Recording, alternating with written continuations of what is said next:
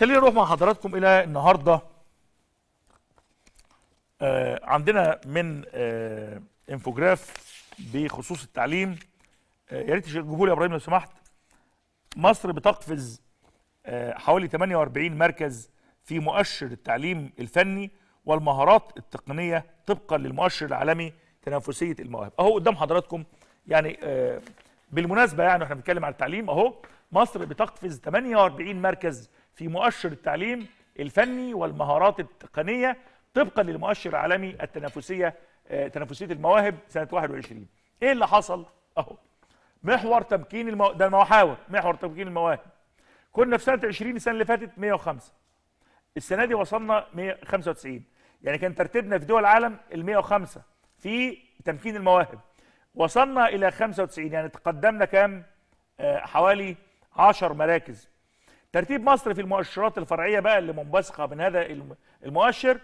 عندنا في الإنفاق على البحث العلمي والتطوير كنا كنا آه ترتيبنا 52 تقدمنا كم مركز؟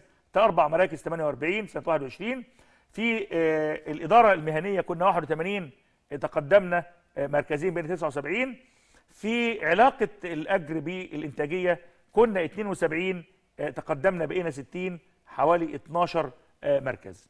غيره يا إبراهيم. محور تنمية المواهب كنا في سنة 20 104 ترتيبنا بقينا 90 يعني تقدمنا كم مركز؟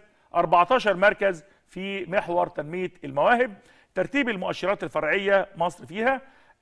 ترتيب الجامعات كنا 55 تقدمنا بقينا 38 17 مركز.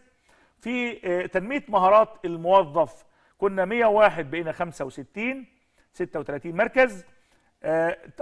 تفويض السلطة كنا 98 تقدمنا 23 مركز بقينا 77 ترتيب مصر في المؤشرات الفرعية بقى كلها.